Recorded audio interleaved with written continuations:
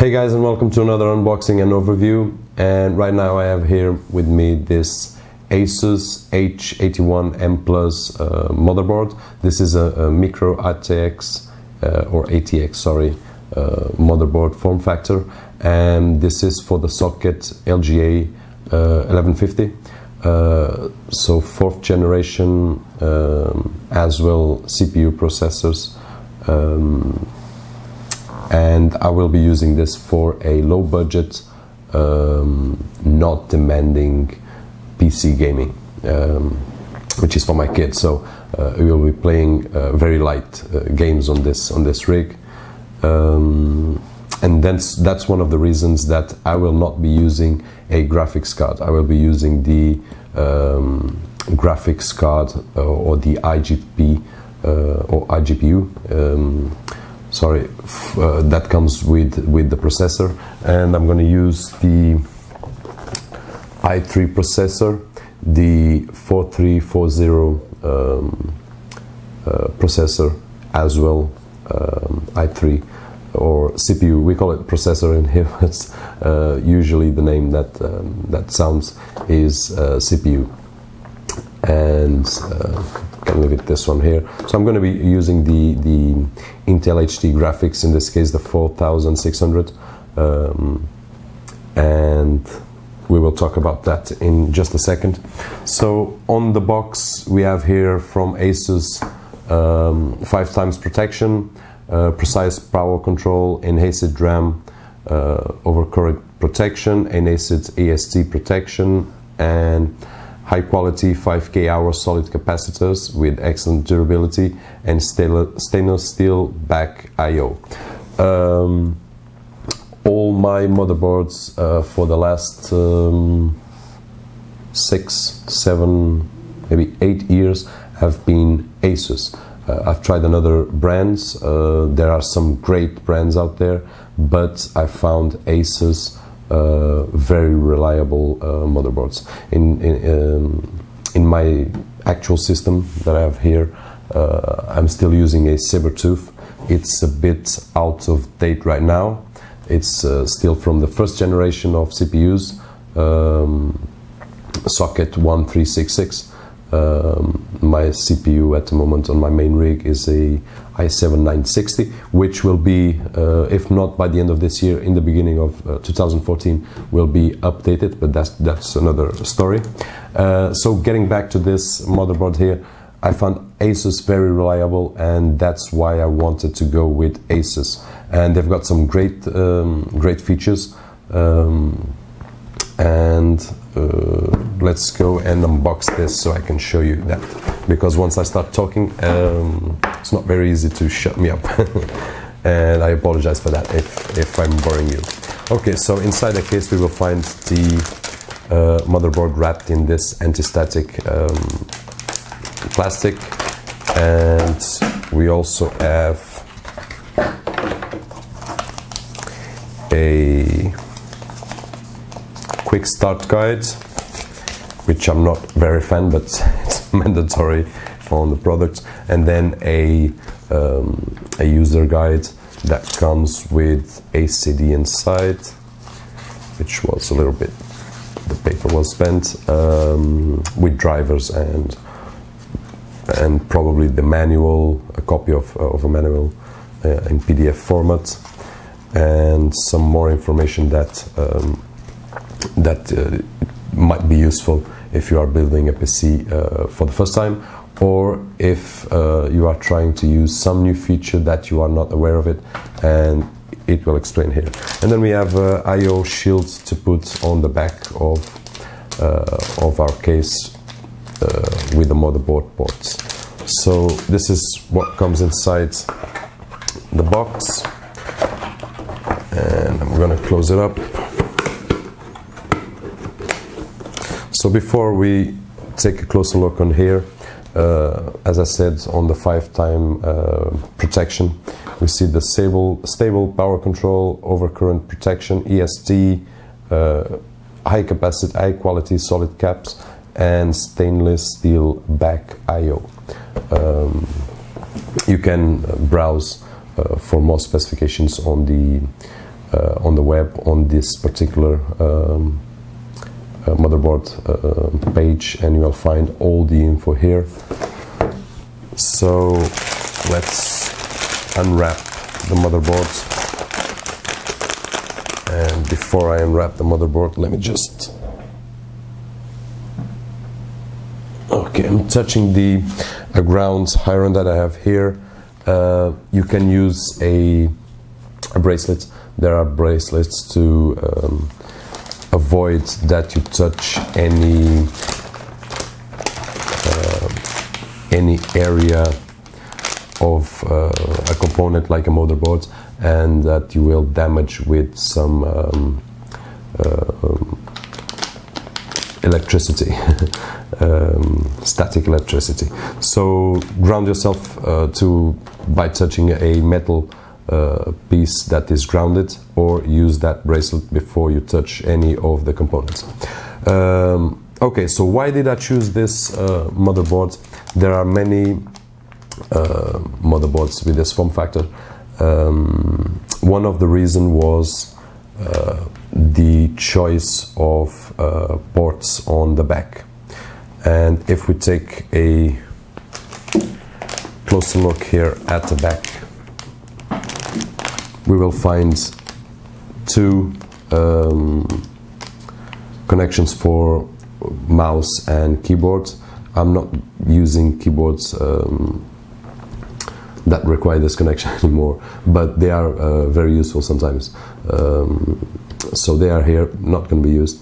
Um, we have an HDMI, DVI, and VGA connection here. So we have three options available, especially for those like uh, like in my case that are going to use the internal graphics included uh, from the, the processor, the CPU, sorry. Um, this will give us choice. Um, and then we have two uh, USB uh, 2 and two USB 3 and then once more we have another two USB 2 one gigabyte internet connection and then we have the regular audio inputs and, and outputs um, for this motherboard. So uh, this was one of the considerations that I had uh, before purchasing this uh, motherboard the um, connections at the back especially uh, the ones for the displays. And this motherboard supports up to two displays. So you can um, just with this um, setup as it is, you can uh, hook it up to, to monitors. And then let's go here and check a bit closer to the motherboard. Um, we have the connection for, um, for the CPU and we have the fan, CPU fan. One of the things that I would like to mention is this motherboard only uh, has two fan connections, one for the CPU and one for the chassis um, or for the case. Um, for this kind of, of PC, I don't see uh, the need of connecting more fans to the rig. This will be uh, not a demanding rig. It will not uh, be used for demanding tasks. So um, the intensity of, of heat inside the case will not be much. So I think one two fans will be more than enough for the system. Uh, I've ordered already, didn't arrive, but a Epsilon splitter, uh, splitter sorry, that will uh, uh, let me connect two fans to one uh, to one connection. this is a four-pin fan connection, and um, it will give me the option to put two fans, one at the front of the case and one at the back of the case, one intake and one outtake and that will be it. No need for more um, for this particular system. But that's that's one thing that you should have in consideration. This motherboard only takes two um, fan connectors, and then we have um, our DIMM support here. This motherboard supports up to 16 gigabytes of RAM, uh, 8 gigs on each, and um, that was another factor that um, made me think a little bit. There was a, a similar motherboard, the B85, B85 uh, M, that is a, a motherboard more directed to workstations with lightweight work, uh, which had four slots for memories. So it was able to support up to 32 uh, gigabytes of RAM. And that made me think a little bit, but I decided to go with this one because um, the cost was around uh, 20 euros uh, different. This was 20 euros cheaper than the other one. Uh, but for this particular rig, I will not be using um, more than 16. 8 will be overkill for uh, what the system is, is built for. So 4 will be more than enough. 8 overkill, I will probably go with 8 uh, because I have RAM uh, laying around. But um, I think four would be would be sufficient. Thirty-two, it's just uh, um, it's not uh, thinkable. Um, I'm using 24 on my old uh, my old well not old still works very well my old uh, i7 9960 uh, first generation uh, CPUs.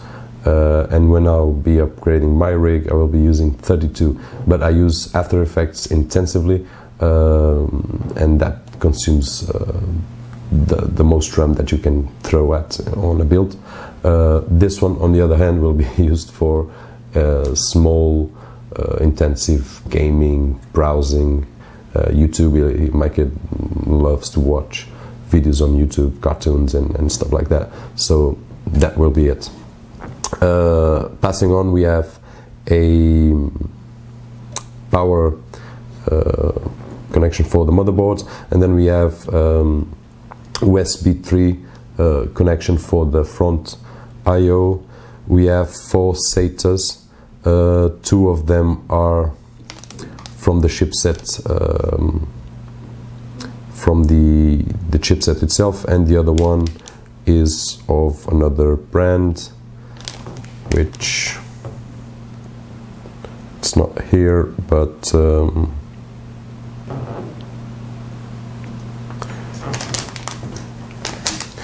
So we have two uh, USB, sorry, two SATA connections and another two SATA connections here, both six gigabytes. And then we have the I/O um, connections, hard disk, hard disk uh, activity, and um, power resets, and so on. And then we have another USB 2 and USB 2.0 and then we have the AC97 for audio which uh, some use some don't and we have also the option to put in a PCI Express 16 um, 16 times and we have other three uh, PCI uh, connections here for uh, export uh, for expansion uh, cards if you if you require. So like an audio card or um, Ethernet uh, network connection or something else that you need.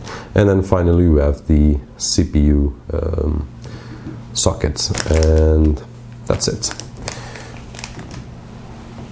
Okay.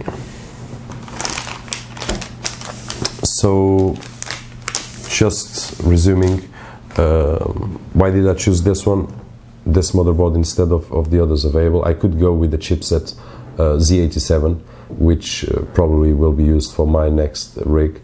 Uh, but it would be a overkill and waste of money for what I'm trying to build here, which is a low budget PC with capabilities to play um, some games without having to put a, a, graphic card, but that gives me an option for in a year, year and a half, um, if the kid starts uh, demanding more powerful games, I can just place a, a graphic card, a may, maybe uh, not a low end, but not not the top uh, graphic card, something like the I don't know at the moment if I was building maybe a well for him it would be an overkill, but for the price I would go for the GTI um, or GTX 650 Ti uh, or the Ti Boost uh, just because the price is not is not very very different, just 15 years different, 20 years different, uh, at least here in Portugal.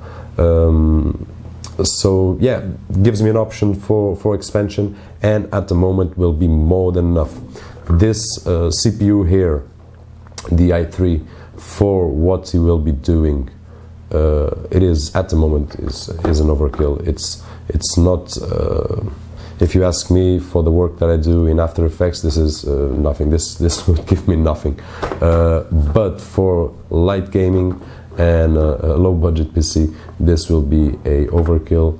Uh, I would probably could go on with a um, I don't know a Celeron or a Pentium and it, it would be okay. But um, I decided to go with this one for two reasons. One of them being the graphic cards included. This one comes with the Intel HD 4600 and uh, it will last um, when I say last, it, I don't mean that it will die. uh, I mean that for the purposes of this gaming PC, this will last uh, for at least two, three years without having to uh, making any kind of upgrade.